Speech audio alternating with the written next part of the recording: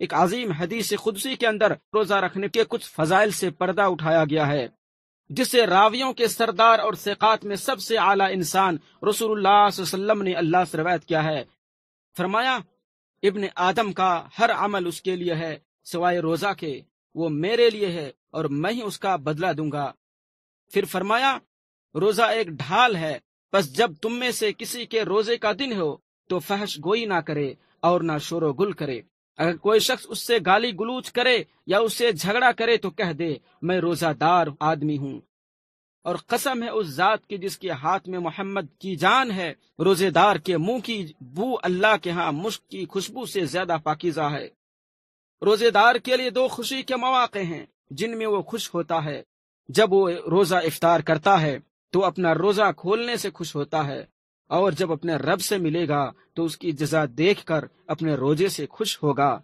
बुखारी व मुस्लिम, बरिवायत अबू हुरैरा रदी अल्लाह बुखारी की एक और रिवायत में है, अल्लाह ताला फरमाता है, वो मेरी वजह से अपना खाना, पीना और जिनसी ख्वाहिश छोड़ देता है। रोजा मेरे लिए है और मैं ही उसका बदला दूँगा और बाकी हर नेकी को दस गुना तक बढ़ाया जाता है।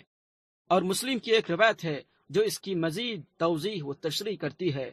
फरमाया, इब्न आदम के हर नेक अमल को दस गुना से सात सौ गुना तक बढ़ा दिया जाता है।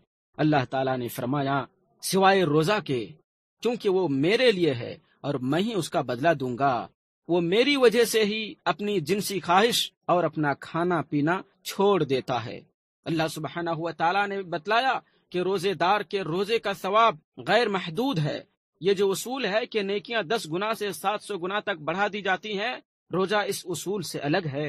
अल्लाह ताला मख्फी व पोशीदा अंदाज में उसका बदला बगैर हिसाब किताब के देगा। इसलिए कि रोजेदार ने अपनी इबादत को मख्फी रखा, उसे अपने रब के लिए खालिश किया, उसकी रजा का खाहा रहा, उसके सवाब की उम्मीद रखी, उसके अजाब से डरता रहा, उसकी नीयत में रिया का शायबा तक नहीं आया। और लोगों की तवज्जो और तारीफ़ जैसी दीगर दुनियावी फ़ायदे की उम्मीद नहीं रखी। इस इबादत के क्या कहने? जिसे अल्लाह ताला ने अपनी तरफ़ मंसूब किया हो और जिसका अजर सवाब भी खुद ही अता करे।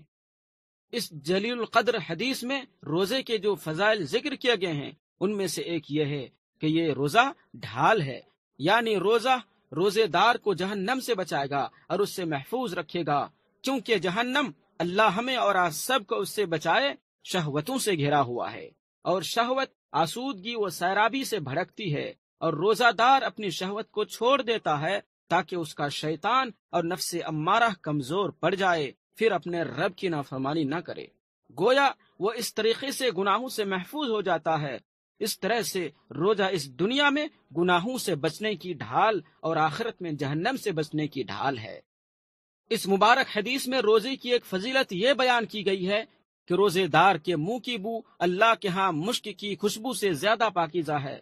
रोजादार के मुँह की ये बू मैदा खाली होने की वजह से पैदा होती है। ये बू इस दुनिया में लोगों को नापसंद है, लेकिन अल्लाह के यहाँ पाकिजा वो पसंदीदा है, क्योंकि ये बू अल्लाह की तात और उसकी रजा जुई की वजह से पैदा होती है। ये उसी तरह है जिस तरह शहीद का खून है। कयामत के दिन शहीद का खून शक्ल में तो खून होगा, लेकिन उसकी खुशबू मुश्क की होगी। इस मुबारक हदीस में रोजा की एक फजीलत ये वारिद हुई है कि रोजादार इफ्तार के वक्त खुश होता है और कयामत के दिन अल्लाह से मिलकर खुश होगा। इफ्तारी के वक्त खुशी की वजह यह है कि नफ्स, खाना, पानी और जिनसी शहवत की तरफ़ फितरी तौर पर माइल होता है। बस जब उसे कुछ वक्त के लिए उससे रोक दिया जाता है फिर उसे दूसरे वक्त में उसके लिए हलाल कर दिया जाता है तो वो इस मना करदा चीज़ की दोबारा इजाज़त मिलने पर खुश होता है। बतौर खास जब उसे उस चीज़ की सख्त ज़रूरत भी हो।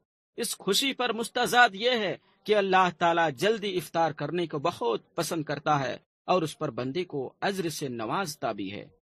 और रोजादार अपने रब से मुलाकात के वक्त खुश इसलिए होगा क्योंकि वो अपने रोज़े का पूरी फयाजी के साथ अजर सवाब पाएगा।